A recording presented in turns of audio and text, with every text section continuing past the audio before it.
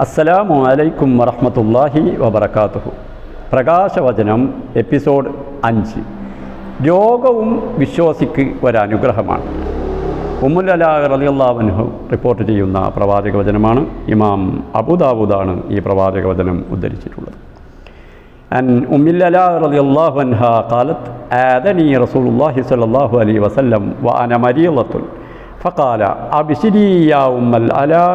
أبشري يا أم الألاء فإن مرض المسلم يذهب الله به خطاياه كما تذهب النار خبث الذهب والفضة ഉമ്മുൽ അലാ റളിയല്ലാഹു അൻഹ പറയുന്നു ഞാൻ രോഗിയായിരിക്കെ എന്നെ സന്ദർശിച്ച വേളയിൽ നബി തിരുമേനി സല്ലല്ലാഹു അലൈഹി വസല്ലമ പറഞ്ഞു ഉമ്മുൽ അലാ തീ സ്വർണത്തെയും വെള്ളിയെയും അഴുക്കിൽ നിന്ന് ശുദ്ധീകരിക്കുന്നത് പോലെ രോഗം മനുഷ്യനെ പാപമുക്തനാക്കുന്നു അതിനാൽ നീ സന്തോഷിച്ചു കൊള്ളുക എൻ്റെ പ്രിയപ്പെട്ട സഹോദരങ്ങളെ ഇഹലോക ജീവിതം ആദ്യന്തം പരീക്ഷണങ്ങളുടേതാണ്.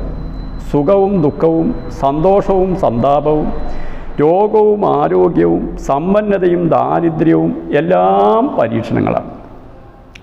സുഖസൗകര്യങ്ങൾ ലഭിക്കുമ്പോൾ അത് അള്ളാഹുവിന് തന്നോടുള്ള പ്രത്യേക സ്നേഹം കൊണ്ടും അവന്റെ അടുത്ത് പ്രത്യേക പദവി ഉള്ളതുകൊണ്ടും സ്ഥാനമുള്ളതുകൊണ്ടും ലഭിച്ചതാണെന്ന് കരുതുകയും അതിൽ അഭിമാനിക്കുകയും ചെയ്യുക. ഉപജീവന മാർഗങ്ങളിലും സുഖസൗകര്യങ്ങളിലും കുറവ് വരുമ്പോൾ തന്നെ അള്ളാഹു അവഗണിക്കുകയും അപമാനിക്കുകയും ചെയ്തിരിക്കുന്നു എന്ന് പരാതിപ്പെടുക.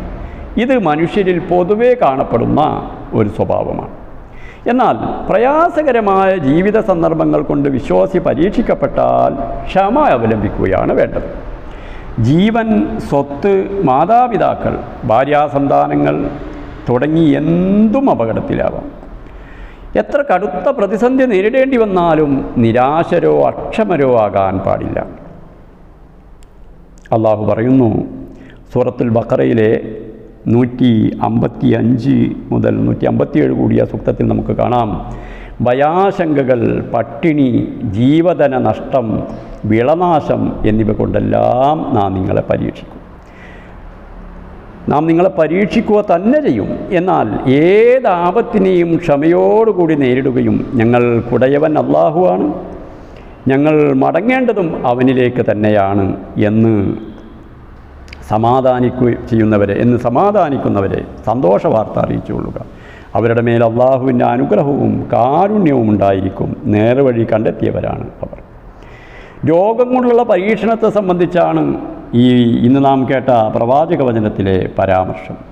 ഏറിയോ കുറഞ്ഞോ ഏതൊരാളുടെ ജീവിതത്തിലും അനു അനുവാദം ചോദിക്കാതെ തന്നെ എപ്പോഴും രോഗം കടന്നു വരാം. ചിലത് വളരെ നിസ്സാരമായിരിക്കും മറ്റു ചിലത് അത്യന്തം ഗുരുതരമായിരിക്കും. ആർക്ക് എന്ത് രോഗമാണ് വരികയെന്ന് ഒരാൾക്കും മുൻകൂട്ടി പ്രവചിക്കുക സാധ്യമല്ല.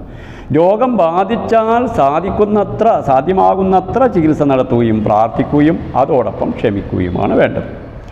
അങ്ങനെയാണ് അങ്ങനെയായാൽ ആ രോഗം ഒരനുഗ്രഹമായി മാറും എന്നാണ് പ്രവാചകൻ തിരുമേനി സല്ലാഹു അലഹി വസല്ലമ ഇവിടെ നമ്മെ പഠിപ്പിക്കുന്നത്. അപ്പോൾ ദുഃഖിക്കുകയല്ല സന്തോഷിക്കുകയാണ് വേണ്ടത്. സ്വർണം വെള്ളി തുടങ്ങിയ ലോഹങ്ങളിലെ മാലിന്യങ്ങൾ അഗ്നി ശുദ്ധീകരിക്കുന്നത് പോലെ പലതരം രോഗങ്ങൾ നൽകിക്കൊണ്ട് നമ്മെ പടച്ച തമ്പുരാൻ പാപങ്ങളിൽ നിന്ന് ശുദ്ധീകരിച്ചെടുക്കുകയാണ് യഥാർത്ഥത്തിൽ ചെയ്യുന്നത് എന്നതാണ്. അതുകൊണ്ടാണ് പ്രവാചകൻ പറഞ്ഞത് സത്യവിശ്വാസിയുടെ കാര്യം അത്ഭുതകരമാണ്. അവന്റെ മുഴുവൻ കാര്യങ്ങളും അവന് ഗുണകരമായി ഭവിക്കും. സന്തോഷകരമായൊരു സംഗതി ഉണ്ടായാൽ അവൻ നന്ദി കാണിക്കും. പ്രയാസകരമായ സംഗതിയാണ് ഉണ്ടായതെങ്കിൽ ക്ഷമിക്കുകയും ചെയ്യുമെന്ന് സഹോദരങ്ങളെ രോഗമുൾപ്പെടെ വിശ്വാസി അനുഭവിക്കേണ്ടി വരുന്ന മുഴുവൻ പ്രയാസങ്ങളും ജീവിതത്തിൽ സംഭവിച്ച പാപങ്ങൾക്കുള്ള പരിഹാരമായി മാറുന്നു എന്നത് എന്തുമാത്രം വലിയ അനുഗ്രഹമാണ് എന്നോർത്തു നോക്കൂ. കാലിൽ മുള്ളു തറച്ചത് മൂലം അനുഭവിക്കേണ്ടി വരുന്ന ചെറിയ വേദനയുടെ പേരിൽ പോലും പാപങ്ങൾ പൊറുക്കപ്പെടുമെന്നാണ് നബിതിരിമേനി പറഞ്ഞിട്ടുള്ളത്. കാര്യങ്ങൾ യഥാവിധി മനസ്സിലാക്കാൻ ഉൾക്കൊള്ളാൻ പടച്ച തമ്പുരാൻ നമുക്ക് ഉദവി നൽകി. അനുഗ്രഹിക്കുമാറാകട്ടെ. വാഹിറുദാൻ അലഹമുല്ലാഹി റബുലാലമീൻ അസ്സലാമലൈക്കും വാഹമത്തല്ലാഹി വാ